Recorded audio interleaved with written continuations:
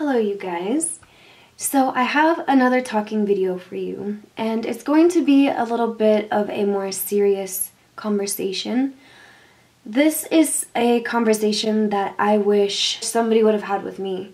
And with that being said, I want to be the one to sit down and have this conversation with you. Because there will be a time where you find yourself in this position. It's not a position that many people talk about. You know, it's not comfortable to talk about. It's not comfortable to even think about. It's not comfortable to imagine. So, what am I talking about?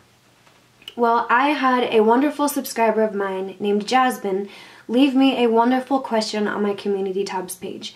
And it was so amazing that I knew I wanted to dedicate a video to it entirely on its own. So Jasmine, I thank you immensely for taking the time to leave that comment and also being brave enough to ask that sort of question because I know for a fact I wasn't that brave to ask that sort of question. Jasmine had asked, I recently lost my dad, and since then I've been trying to unlearn and detach from his reality to progress into my own.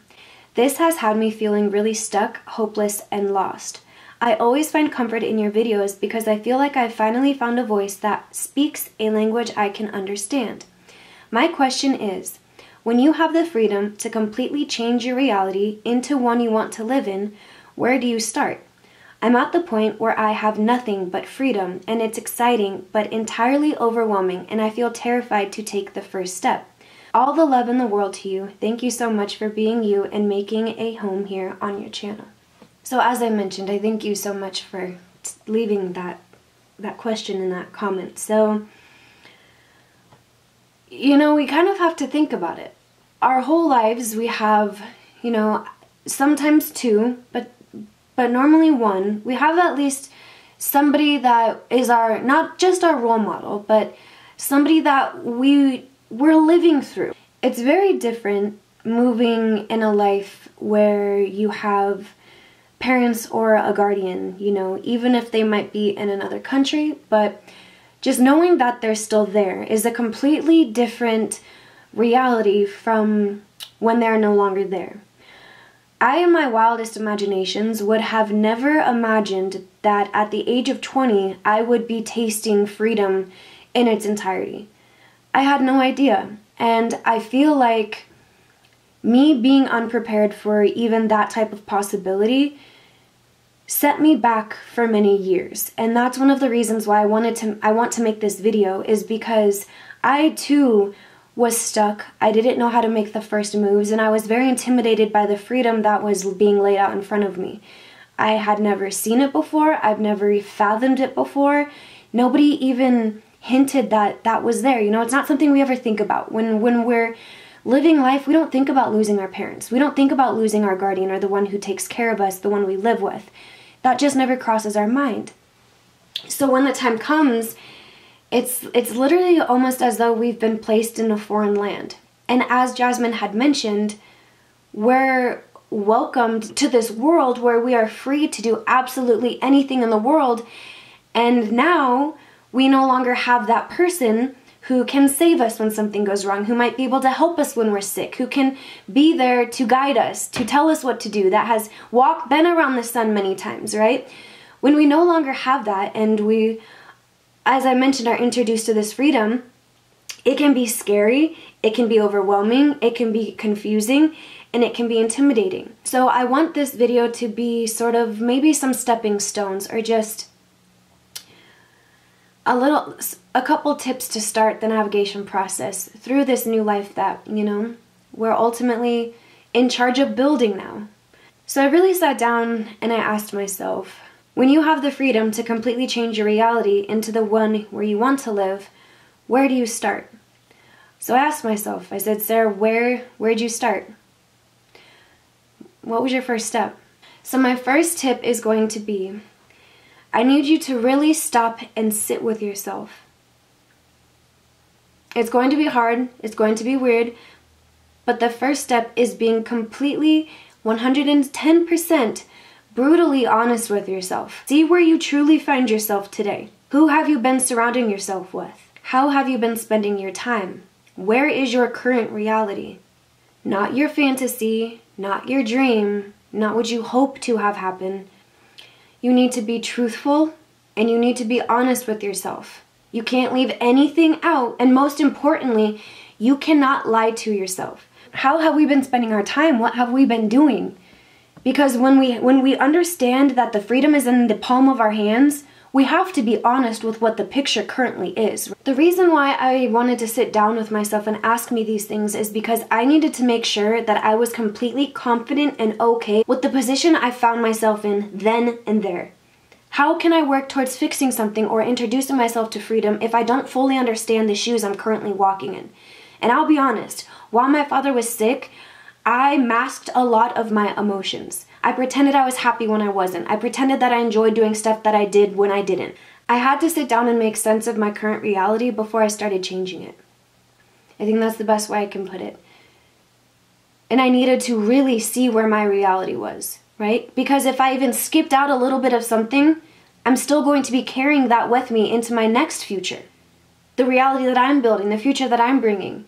If we don't sit down and make sure that we understand what is with us, if we don't understand what all we're carrying, what all we've been surrounding ourselves with, with people, with emotions, with situations, with jobs, with anything, if we don't see what luggage we've been carrying, there's no way for us to drop some of the baggage.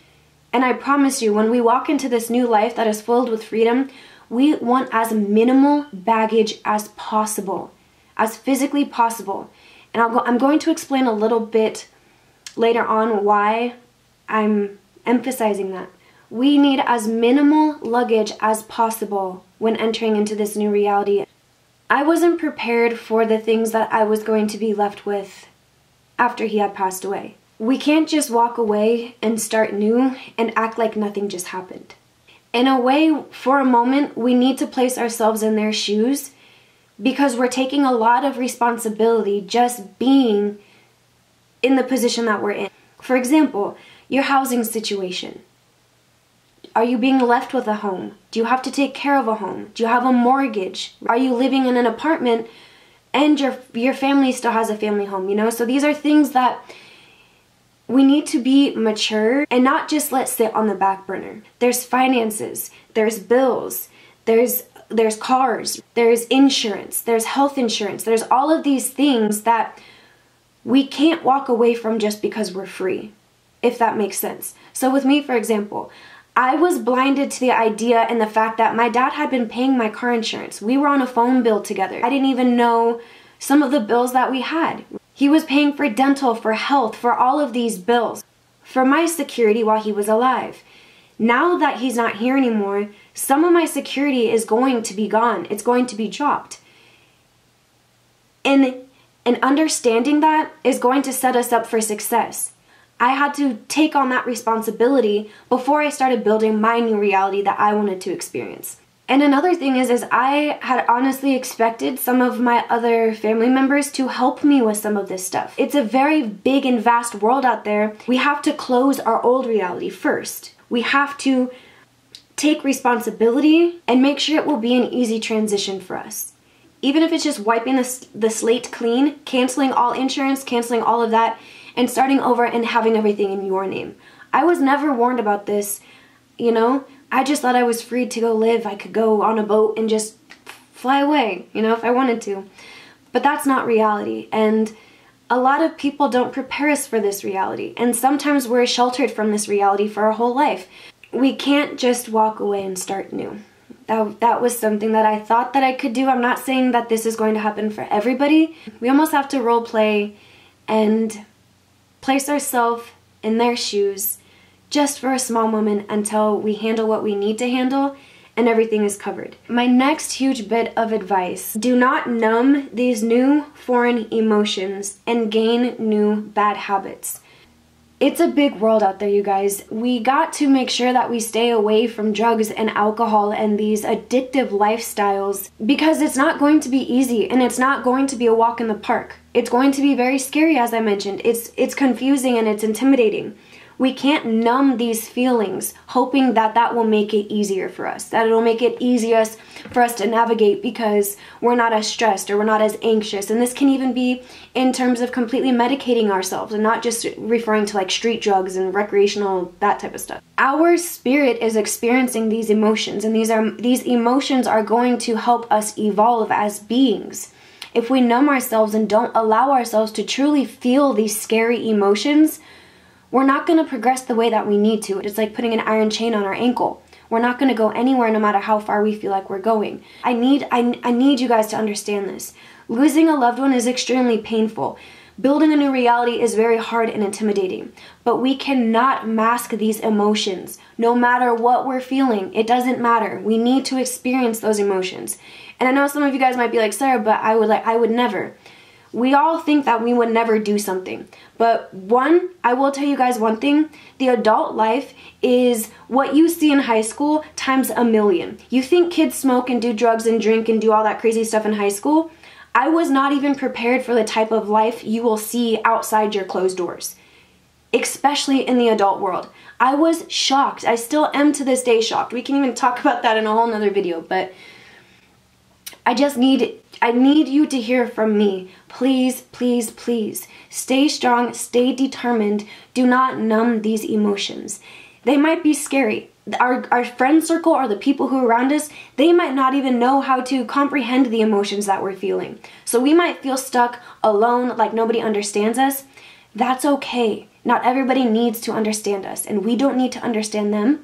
We don't need to spend our whole life trying to get them to understand us. Please do not numb yourself. Please try your best to not gain any new bad habits while you are exploring and learning about the freedom of not just reality, but building your own reality. I wish I would have been warned that. My next biggest tip is you need a plan A, B, C, and D. You always need a backup plan. That can be with anything, with finances, with your job, with your housing situation, okay? Anything. We need to have a backup plan. I didn't have a plan A or B or C. I thought my life was having parents and that was that. Even after losing my mom, I never resorted to making a backup plan in case my dad passed away, even though I had the thought cross my mind before. I promise you, I thought to myself, I wonder what would happen. Hmm, it's never gonna happen, so I don't need to worry about it. It will happen one day. If it's not today, we're not immortal. Our souls might be, but one day we are all going to be faced with this reality of the freedom outside of our parents, outside of our guardian, outside of our family. And some of us may never, you know, some of us might have a very, very, very strong and supportive family system. That was also not a part of my plan B, you know? I thought that I was going to have like a village around me, right? I wasn't prepared. So it doesn't matter what what the subject may be, always have a backup plan. Say you're in school right now. Like I used to be in school. I was in college. This this this could be a great example. Perfect example. After my mom passed away, right? I didn't have a plan A, B, C, or D for anything. I didn't have a plan for if my dad passed away. I didn't have a plan for if I had to stop going to school. I didn't have a plan if I had to stop playing sports. Sometimes life will happen and it won't be to our to our advantage. So I wasn't prepared for one, losing my father, losing my mother. I wasn't prepared for having a brain injury. I wasn't prepared for not being able to finish school. I didn't have a backup plan, and that made me even more scared in this vast freedom I have. Having a plan and a routine and a structure is going to it's going to save us in the long run, okay? And if that structure falls and we don't have something to rely on, we're going to we're you know, of course we're to feel lost and confused. And it's to be even more hard because when we go try to ask somebody for help, they won't even understand because they're not even in the same predicament as we are. We need to make sure that we have a backup plan because even though the worst has already happened and we think that the worst can never happen, we never know. So we have to still stay on our 10 toes. We can't be just comfortable, fall into this this comfy cozy chair of, oh, okay, I've got my life to live. I could go live on a beach. I'll go find a sugar daddy. no. okay, we gotta make sure we always have a backup plan. Always have a backup plan. And why I keep saying this so much is because a lot of the time, mom and dad are our backup plan. If something doesn't happen, we call mom. If we're in trouble, we call dad. If mom's mad at us, we call dad. If dad's mad at us, we call mom. You know, I always had my mom as my backup plan. That was my only backup plan. It was my Lord and Savior. So we, we just have to always make sure that we we know we know what's going on and we know what will go on if what's going on can no longer go on. this next one is very important and sort of what I was referring to when I said we need to be honest with who we're surrounding ourselves with. Not everyone is going to understand, Not everyone is going to understand you or your life choices. This is so huge. I am still having to drill into my head that I am having to live a reality that not everybody else is living. We're still young. There's some 15, 60 year olds out there who still have their parents. And when they see us acting or behaving or even thinking a certain way, like I said, even in their wildest imagination, they wouldn't be able to understand. So this means that we can't have high expectations for anybody, you guys. And I mean that, and I and I'm being brutally honest with you. Your best friend, your boyfriend or girlfriend, they're not going to understand. If you all of a sudden stop doing something, you you you decide that you need to stop talking to somebody, they might not understand and that's okay. It's not that that doesn't matter, but what matters more is that you understand that in order for you to keep progressing, you can't carry that baggage with you. For example, I knew for a fact that after my dad passed away, I I could not continue hanging around the people that I was hanging around. I didn't care how happy they made me. I didn't care how much they loved and appreciated me. I had to be honest with myself. And this has nothing to do with saying that you are on a higher pedestal than everybody else because you've experienced pain and the loss of a parent, right? That's not what this means. But if you keep trying to force yourself to fit into a friend group that you just no longer can fit into, you're gonna cause yourself more havoc and pain than if you were to just just take a deep breath and like I said, really sit and be honest with yourself and just say, you know what? I gotta go my own way. I gotta go my own way. They're, they're, they're still here in this reality, but I am literally having to step outside that reality and become somebody new. Not everybody's gonna get you, your life choices, what you choose to do, and that is okay. You have to have confidence in yourself, in your choices, in your actions, in the consequences of your actions, in everything. I truly think it is very important for us to gain the a realistic awareness of where we are before we start building our reality. Awareness of this is awareness of what is going to be lost once we take that first step. This is support. This is motivation. This is discipline. An ear to listen to. Even though my dad was not a talkative person, I would talk his ear off about every conspiracy I heard the first few months after he passed away, I found my I found myself walking around sad because I nobody had sat me down and and told me what to expect. What I was going to lose alongside my parents. What I was going to lose in my new reality that I once had. As I had mentioned, support, motivation, discipline. The only reason I was disciplined was because of my parents. The only reason I kept my head on my shoulders was because of my parents. The only reason why I acted right in public was because of my parents. I didn't want to embarrass them. I didn't want to disappoint them. I didn't want to ever call them from a, a holding cell one day. It was because of them. I was inspired to just be alive because of them. We lose that when we lose them. Yes, we can try to pretend. I try all the time to pretend. I still try to imagine that I've got the support of my parents. But it's different. It's different when you have it on the astral plane than when you have it on the physical plane. And nobody talks about what we lose alongside with our parents. And the reason why I'm making this such a point is because I was never warned about this. Even when I entered into the freedom, I wasn't ready to then go explore in that freedom. Once I started taking my first, second, and third step, actually embracing the freedom, I wasn't warned that I would be reminded I have no more support. I don't have outside motivation. I don't have somebody looking at me, making sure I'm doing what I'm supposed to be doing. Once we gain awareness of the things we have lost, the characteristics, the qualities, we need to understand that it's our job to not only adopt these characteristics, but advance them. My mother was an amazing listener. She was very, very, very motivational. She was extremely supportive. She was courageous, creative. She helped me be all of these things. Now it's my job to adopt those characteristics. Now I'm the one who creates my own motivation. I'm the one who creates my discipline. And I've never had to do that before. We've never had to actually take the front seat.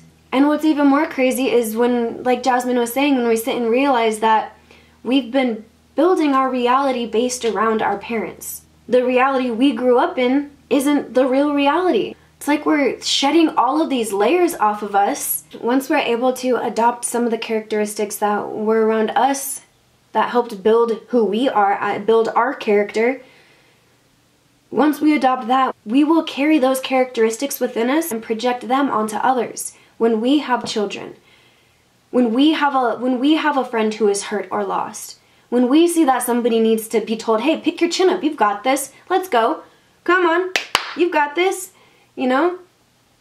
We can become the cheerleader for our own life. We used to have mom, mom and dad shaking the pom-poms. Yeah, go. You got it, Sara. And we needed that for the time being.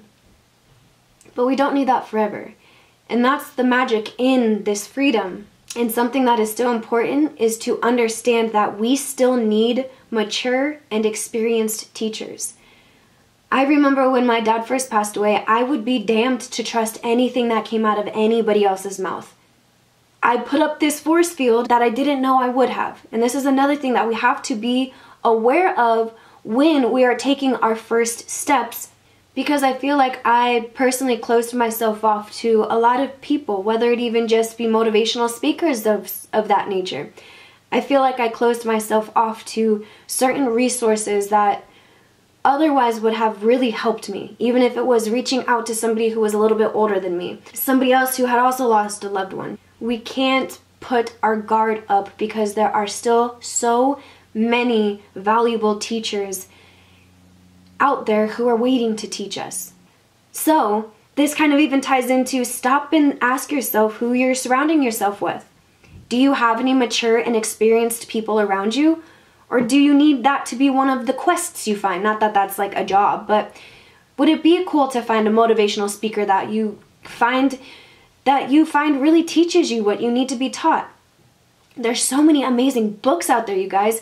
I've been reading a lot of interesting books, and some of them are teaching me things that my parents would have never even been able to teach me. But if I would have still had that guard up and thought that either I knew it all or that what I was left with was fine, you know, I would be closing so many doors. And my reality and the freedom that I would be exp- exposing myself to wouldn't be the innate reality that's actually out there. You know? It would just be kind of like a masked version. And we don't want that. This is the time to be smart. I heard a quote that stuck with me entirely, and I wanted to make a video about it all on its own, but I feel like this video is is what I mean. Is is the sustenance I was looking for to to help with this. So, I heard this quote that says, "We are born looking like our parents, we die looking like our decisions." If I were to have heard that and my parents still be alive, that wouldn't hit home. It wouldn't be that life shocking to me. You know? But me understanding now that I'm going to die looking like my decisions is probably one of the best the best things to kick me in the booty to get me to do what I need to do, to be smart, to be wise, to have that drive and determination to make me proud, to want to make myself proud. That is so important. So we have to be smart. We have to really be careful with the decisions we're making.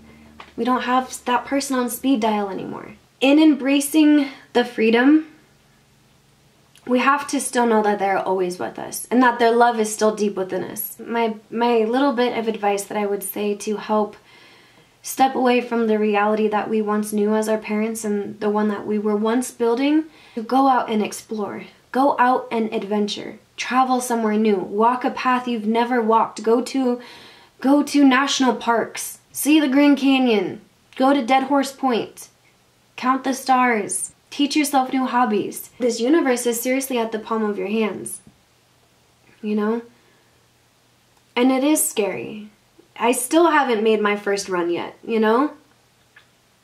And I think that's one of the reasons why I didn't want this video to be a this is what you have to do in order to make your first steps, but just some bits of advice. I can't be out here acting like I am just this perfect, determined, I am capable of conquering my own life as you guys can probably see, I'm still working on that. I'm still trying to build my reality. I'm still learning to embrace this freedom. It is intimidating. That intimidation factor never goes away, and it's been years. And that's kind of something I think that we should look forward to. That's magical, right? We need to be courageous to be able to just step out into the world and see what we can do. What are we really capable of doing? Most importantly, I want you guys to know that you are not alone. It's not something that needs to be figured out even a week from now, five weeks from now, five years from now, 10 years from now. It's not something that we have to have figured out before we go and explore. But these things, these little bits and pieces that of advice that I gave you, I truly believe are going to be at least a, a starting ground. Little bits of advice that you can stick into your pockets and be ready and say, look, you know what? I've got what I need into my pockets. I'm to take my first step. And then I'm to take my next step. And then it's to keep going and going and going. But understanding that we have to be honest with ourselves. We need to see the reality we're stepping away from for what it truly is, or that reality is just to follow us into the next. We're to wonder why we're trying to build something, but something keeps poking us and tapping us on the back, reminding of us of our past, of the pain, of the turbulence. That is always to be there. But us knowing that we have the ability to keep our vision focused and go on the path that we want to, and if somebody is to come in or we realize that somebody along the way isn't isn't isn't it, even if it's a friend, even if you just need to lose contact with somebody, it's okay. This is your life journey. You're only to experience it once in this body. We need to be honest with ourselves. We can't just walk away and start over. We cannot numb these foreign these foreign and just strange feelings which will ultimately lead in creating new bad habits, okay? We don't want to do that. We don't want to backpedal, okay? We need to have a plan A, B, and C before we even step foot into the crazy world, all right? Because we never know what's gonna happen. We never know what's around the next corner. You need to understand that not everybody is gonna get it, and that is perfectly okay. It's not their job to get it, and it's not yours to get them to understand, okay? And just, and don't be scared to take that first step, to go out and explore. Because guess what? You've done what you've needed to do to prepare yourself. You've gained more awareness of what is to come and what's not to be expected. We've sifted through our circle of who we want to be around, who we want to bring and introduce into our new reality. And most importantly, think about it. You are entering into a field of freedom that not everybody else is. Some people might find that inspiring. Somebody might want to tag along and enjoy the ride too. This is your ride. This is your experience. As I mentioned, do not do not allow anybody to piggyback off of your freedom and your ability to create your own reality. Somebody might not like that. It might be a spouse, it might be a friend, it might be a family member. They might try to keep you chained to your old reality because they don't want you to change. They don't understand your change. We got to be ready for this type of stuff.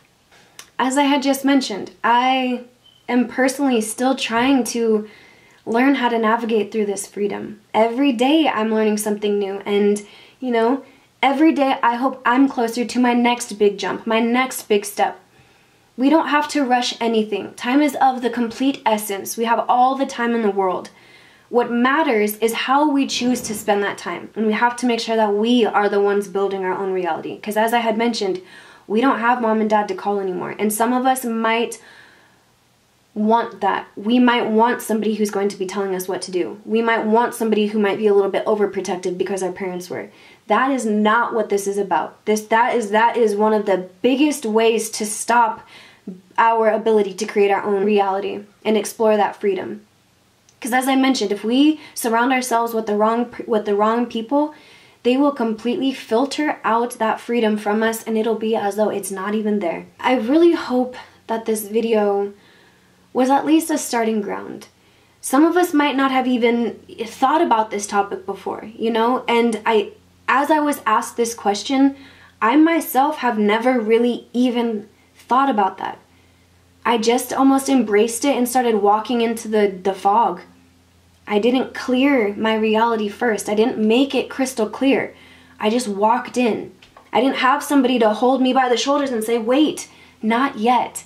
There's a couple things we need to do before we take our first step. And that's what I want to do for you. I want to be the one to say, just hold on, let's slow down. Not that anybody's rushing, because some of us don't even know what the heck to do. But we might be eager to make that first step. We might want to go explore that freedom. But we need but we need to take a deep breath. We need to get a journal. We need to be honest with ourselves. We got to make sure that we are solid with ourselves before we enter the labyrinth. It's wild out there. And there's kind of a reason why our parents never prepared us for it. I think they were too scared to accept the fact that we might find ourselves there one day. I never expected to find myself there, and I'm sure none of us do.